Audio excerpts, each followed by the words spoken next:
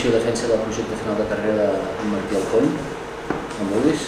Molt bé, doncs bon dia, sóc Martí Alcón i sóc un estudiant d'Enginyeria Tècnica de Telecomunicacions especialitzada en imatge i so i he realitzat un treball de final de carrera que consisteix en el desenvolupament d'una aplicació llançadora que compleixi l'estàndard HBBTV.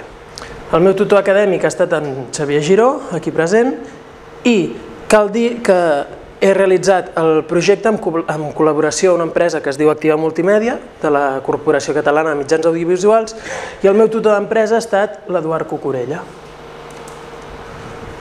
Faré una breu introducció parlant de quins són els conceptes que m'han influït més i les tecnologies que han estat més relacionades amb el meu, amb el meu projecte final de carrera. Esmentar breument l'aparició de xarxes socials, que és un factor que cada cop existeix més en els mitjans de comunicació, tant en internet, sobretot, com ara es vol anar integrant amb televisió, a més a més a la ràdio no en deixen de parlar. Llavors també comentar que el pas de l'analògic al digital eh, ha sigut un avanç molt significatiu, sobretot per aplicacions de televisió, com ara guies de programes electròniques, EPGs i altres aplicacions que després veurem que també eh, la meva aplicació té molta relació amb el, amb el que seria la televisió digital, el digital video broadcasting. Esmentar també que un 80-90% de, del flux de dades d'internet seria la transmissió de vídeo, de dades de vídeo, el video streaming, i llavors ja lligat una mica amb televisió interactiva podríem dir que van sorgir dos estàndards molt importants en aquest projecte.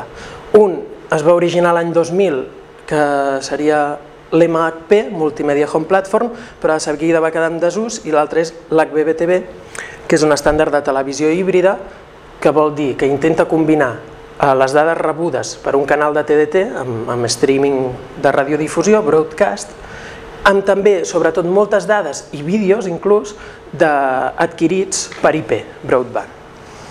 Parla també una mica de Google TV i Apple TV, que sembla ser les noves tecnologies o els nous camins que va agafant també la televisió, són una mica l'alternativa. Dit això, començarem amb la problemàtica del meu, del meu projecte. Eh, primer de tot, definir l'AIT. La és l'Application Information Table, és una taula que forma part del que seria la senyalització d'un stream de TDT, d'un corrent de dades emès per radiodifusió, i és molt important pel meu projecte perquè eh, aquest concepte apareix amb aquest estàndard HBBTV i és el que s'encarrega de llistar quines aplicacions té disponible un determinat canal. Llavors també dir que els temps de càrrega del set-top box, dels receptors preparats per descodificar HBTV, és molt important, perquè normalment aquests descodificadors tenen pocs recursos i els temps de càrrega són bastant elevats. Apareix una necessitat molt clara de llistar i arrencar aplicacions i per aquest motiu nosaltres necessitem una aplicació llançadora, en anglès launcher, per fer aquestes determinades funcions de llistar, llançar, controlar el cicle de vida. Els objectius, que estan bastant lligats amb els requeriments del meu projecte, són els següents. Desenvolupar una aplicació llançadora, com ja hem dit, que té tres punts molt importants. El primer és que compleixi la norma HBBTV, que és aquesta de televisió híbrida. La segona és que sigui totalment configurable per un programador a nivell de codi. I la tercera, que potser és la menys important, seria que ha de ser atractiva a nivell de disseny per reforçar també una mica el fet de que aquest estàndard no es quedi en desús i passi com l'MHP, que a part de ser lent, doncs era una cosa molt més limitada. El segon objectiu del meu projecte és millorar el codi d'Activa Multimèdia. Ells tenen desenvolupada una aplicació eh, que bueno, eh, està preparada per, per diferents broadcasters, no només per TV3, i jo el que faria doncs, és intentar optimitzar una mica tot aquest, tota aquesta aplicació que ells tenen. També realitzar tests, tests i aplicacions, i avaluacions d'aquesta aplicació i també fer algunes tasques, que ha sigut l'última part del projecte, de desenvolupar també feinetes i, i tasques pel, pel seu equip d'R+D. Els requeriments, com ja hem dit, qualsevol aplicació que jo desenvolupi ha de complir la norma HBBTV, ha de ser una cosa usable, que l'usuari no es quedi encallat com passava amb MHP i que tingui un disseny atractiu.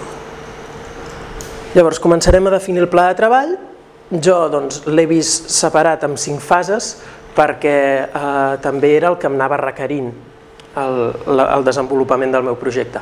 La primera és la familiarització amb el codi. Aquí a la, a la universitat havíem tocat una mica de Java, però no havíem tocat ni JavaScript, ni HTML, ni CSS, ni PHP.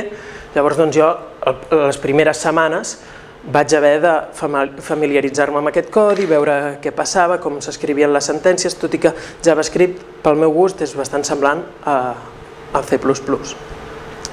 Llavors, fer tot un seguit de proves i experiments relacionats, és a dir, desenvolupar petites aplicacions, inclús experiments que no arriben a ser aplicacions, per jo començar a veure com supera amb aquest codi, com debugar, com anar obtenint una mica de, de lleugeresa amb aquest, amb aquest desenvolupament. Després ja ve la part de l'estudi de l'estructura del codi d'activa multimèdia i les posteriors millores, també hi ha hagut tot un procés de tasques a l'equip d'R+D d'Activa Multimèdia, ajudant-los doncs, amb el seu Scrum diari, amb el seu pla de treball. Llavors, finalment, test d'usabilitat, velocitat i resposta, per poder veure també fins a quin punt jo les meves millores que havia fet doncs, tenien més sentit, menys sentit, com influïen en tot el seu. Llavors aquí he posat una nota que és que tenim l'evolució del projecte detallada a l'apartat pla de treball a la memòria. Això vol dir que teniu, podeu veure tots els, les diferents fases i les diferents tasques que he pogut anar fent durant el meu projecte detallades setmana a setmana. Començarem a parlar breument de l'estat de l'art, principalment dir doncs, que ha sorgit aquesta necessitat de veure la televisió d'una forma interactiva, poder interactuar amb el comandament a distància, eh, i això fa que nosaltres cada cop vulguem més veure allò que volem veure, quan ho volem veure i de la forma que ho volem veure. Per això l'any 2000 va sortir l'MHP, Multimedia Home Platform, va quedar en desús, llavors sorgeix HBBTV amb aquesta necessitat d'incloure coses per internet i la idea de descarregar-se coses d'IP, també aplicacions, no només vídeos, i dic que aquest és un estàndard que se suporta sobre l'OpenIP TV Forum, la SEA, que és un estàndard més d'electrònica, el Digital Video Broadcasting, que és tot el que controlaria DVB, DVB-T, DVB-S, DVB-C i el Web3T, que és un estàndard molt recolzat per Google, que el que es tracta és de disseny web, definir els CSS, de quin, quin tipus de paràmetres hi podem entrar. Dir també que de cara al futur s'està preparant la versió 2 de l'estàndard HBBTV i es parlarà el 5 i 6 d'octubre del 2011. Això per mi és important perquè vaig notar que l'estàndard encara estava una mica, no mal definit, però que hi havia molts hi havia moltes coses que no acabaven de quedar clares des del meu punt de vista i des del punt de vista dels desenvolupadors d'Activa. Començarem eh, explicant la, la primera part de, del meu projecte, que és l'aplicació llançadora, i la definim com una aplicació capaç de llistar altres aplicacions. A part d'això, també controla el seu cicle de vida, això és molt important. El cicle de vida d'una aplicació és des del punt en què es crea, es, se li dona una navegació, és a dir, es va desenvolupant una activitat dins la mateixa aplicació i en el moment en què ja no ens fa servei es mata, vol dir que s'elimina i es torna a una altra aplicació. Jo he definit diferents tipus de llançadores i les he classificat en funció de la interacció que té amb l'usuari. N'he definit de ratolí teclat, que podria ser doncs, una barra d'inici de Microsoft Windows o un dock de Mac OS, Llavors, els que hi ha que són de pantalla tàctil, sobretot dispositius mòbils, eh, on tu doncs, vas apretant l'aplicació que vols.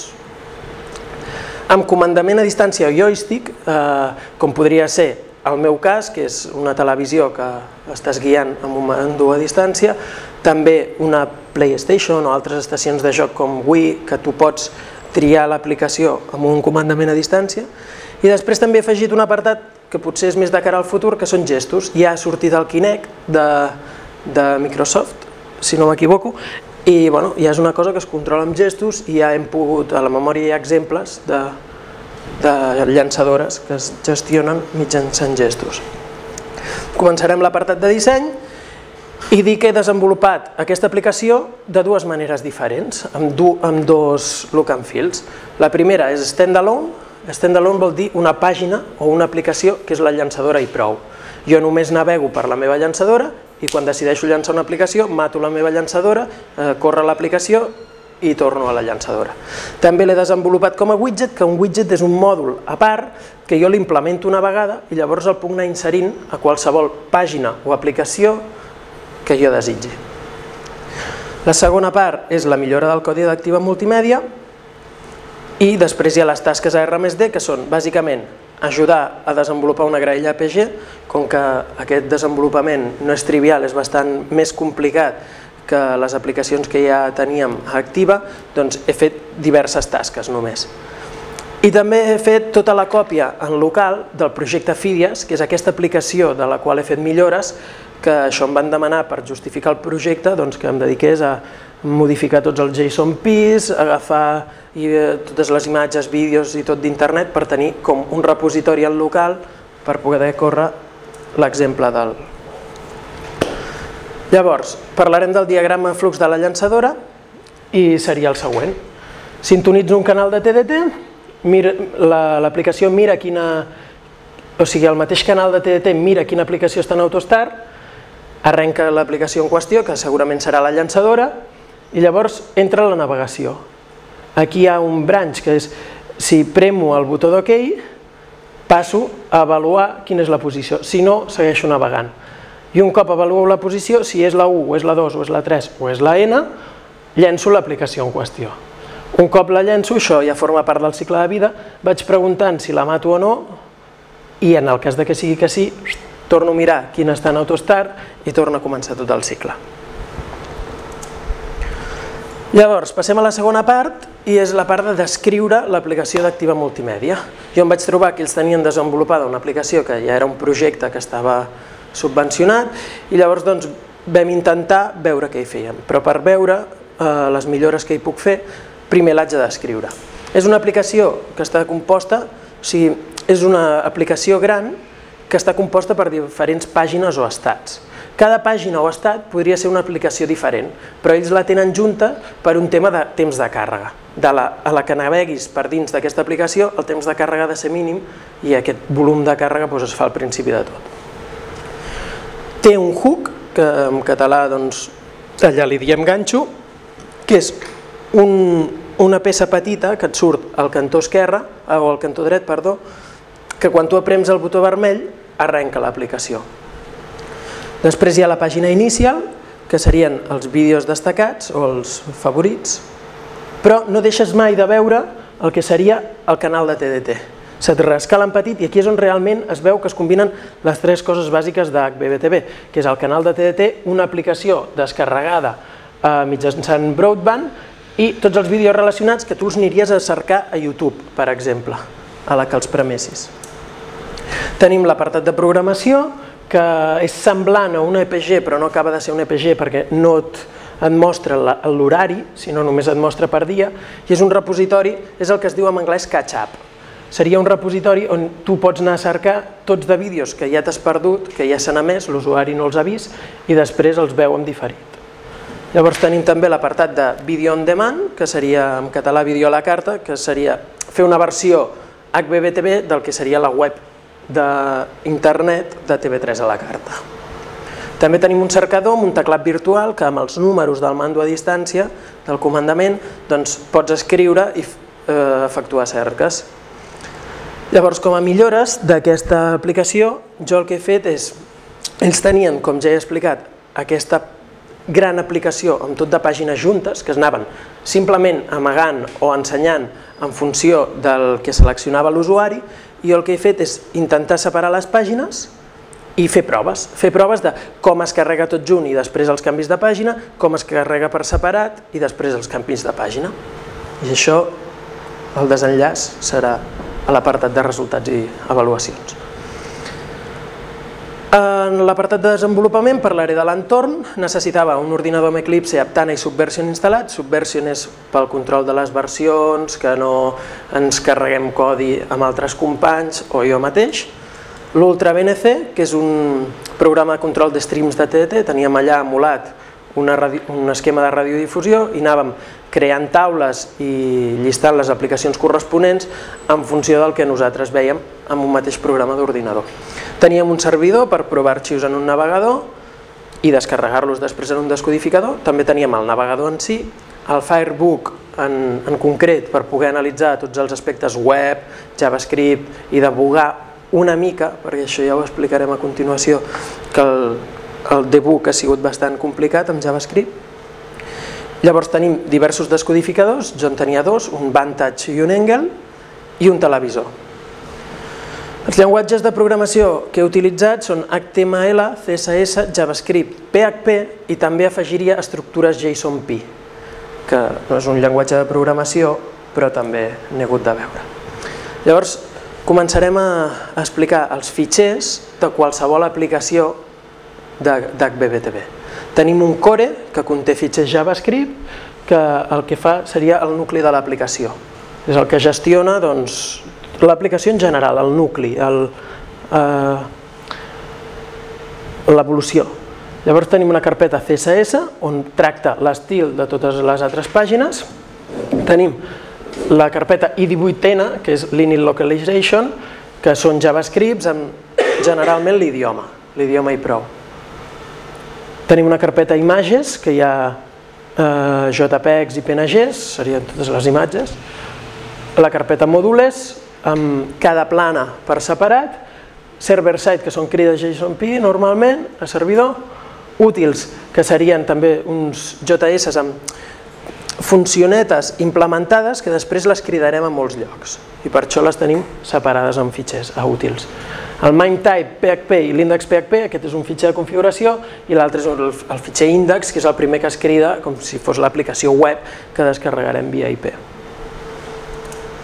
Llavors, les funcions de qualsevol mòdul o aplicació que nosaltres desenvolupem activa multimèdia són el constructor per poder-lo crear, mètode show i hide per anar amagant i ensenyant, el key handler és una escolta de tecles, és el que nosaltres li diem quan premis, és com, són, va tot com, amb, com paravents. Quan jo premi el botó OK faràs això, quan jo premi el botó dreta faré allò. Llavors tenim la funció focus un focus, això és molt important, sobretot amb DVDs, TDT, HBBTV, que és quan jo vaig seleccionant per veure la navegació a sobre de cada icona o on estic, doncs haig de veure un focus, haig de veure que canvia de color, etc. Llavors altres mètodes en funció del mòdul. En la meva aplicació no han calgut altres mètodes, però per exemple en la graella EPG doncs sí que n'hi ha hagut d'altres. Sobretot si es vol fer una animació de loading o alguna transparència, aquest, aquests altres mètodes doncs, són tots aquests. I ara passem a les funcions del core, les descriuré molt breument perquè són més nombroses. Hi ha l'init, que comença a inicialitzar tot i crear els, els objectes amb constructors, show application, que és per ensenyar tot el volum de l'aplicació, register key event listener, doncs és un, una escolta d'events que funciona juntament amb el handle key code i el register case, que és simplement una màscara per decidir quines són les úniques tecles a les quals escoltaré, Llavors tinc la variable all modules, que és una, una millora que vam fer el meu company Rafa i jo per dinamitzar tot el que seria la gestió de planes, i el get que està mm, complementat